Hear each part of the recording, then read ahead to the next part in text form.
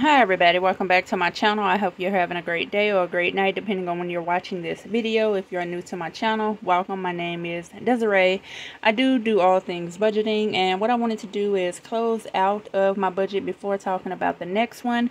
So I am using the Easy Cash Budget Planner with special... What?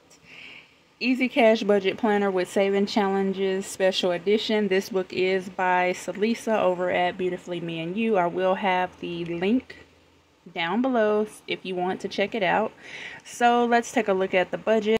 So here's what my calendar looks like. I typically use my calendar for random things such as bills, my no spends, things I need to remember.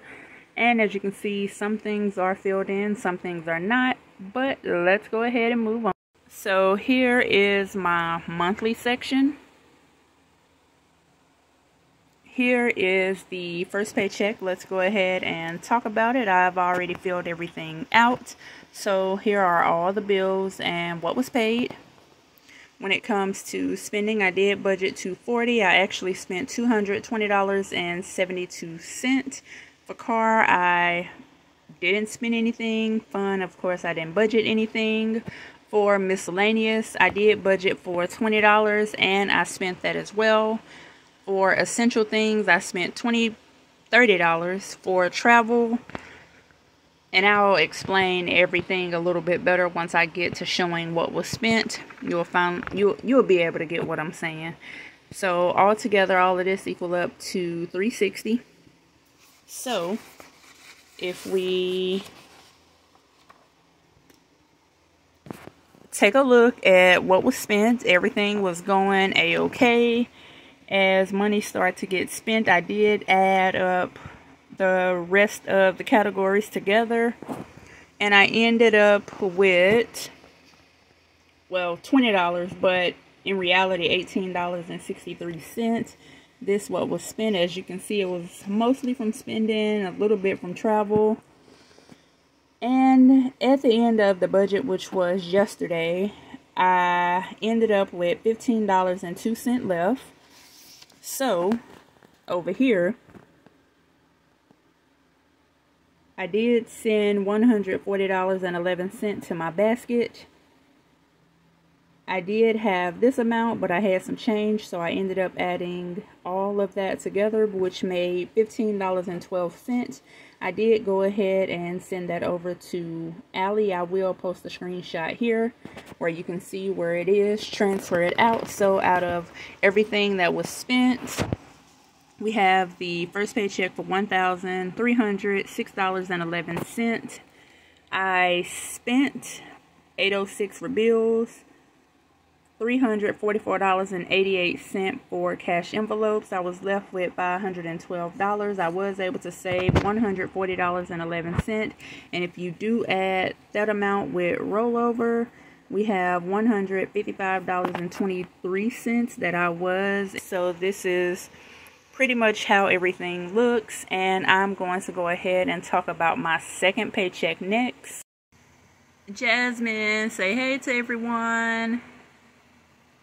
Uh, yeah, I think she don't want to be bothered, but... no, oh, oh gosh.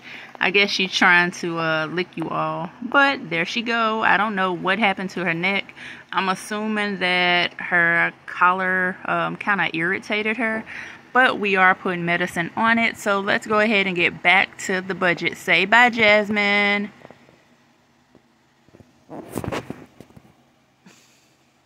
Anywho. Okay, so back to the second paycheck budget. So after I sent my sister money for offering, I'm left with $1,083.97. I did have some things um, get automatic deposit into different accounts. That's why this is a little lower than normal. But it's okay, we'll work through it. So let's see where the money is going. First, where's my pen? First, we have rent. So, I ended up having rent broken down by three, pretty much. But since this paycheck is a little lower than normal, I'm going to avoid taking out money for rent this time and do the money for everything else.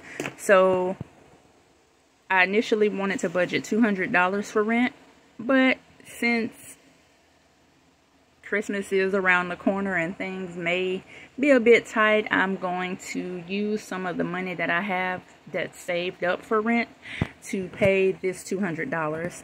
For AT&T, we're doing everything as normal, $32.50. Netflix, $7. Cricket, 55 YouTube, 250 and that's going to Capital One. NES, that bill is already paid, but I'm just going to pretty much take the change that I had left over to pay $11.49 towards electricity bill, car payment 203, Google 150, State Farm 119, Term Life 2848, and these two bills that are will be coming out that first week in January, 32.50 for AT&T and $7. So I know you all are probably wondering why is Prime over here, but it's not over here. That's because I applied for my first credit card with Navy Federal. I applied for the one that's the highest tier, which is the flagship card. Um, with that card, they I'm actually shocked since my credit score had just dropped for TransUnion 20 points uh, the day before I applied.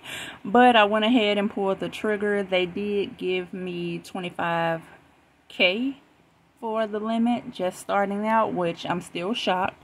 But with the flagship card, I can get Amazon Prime free for a year. Also, if I spend, I believe, 3K within a certain amount of months, I will be able to get I think it's $300 back. So yeah, I'm going to see how that goes. I'm going to add most of the bills here to that card. That way it'll help with the amount that I use. I'll spend that amount of money with all of the bills coming out on it. And it does have other perks as well as far as uh, TSA and global entry. So we'll see how that goes.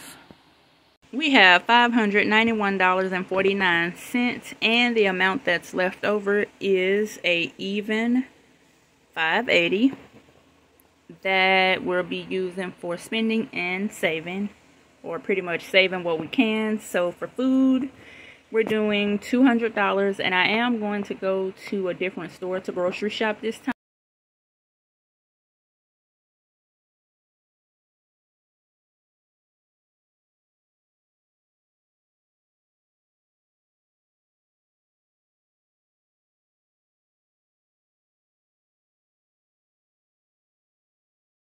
Time. Let's see if we can't stay under $200. For car, I'm going to do 15 For travel, I'm going to do 140 I may need more than that, but we'll see as time goes by. For fun, I'm not doing anything. For miscellaneous, I'm doing 20 just in case. Essential things, I do need to pick up my eye drops whenever they get them in stock. That is $30.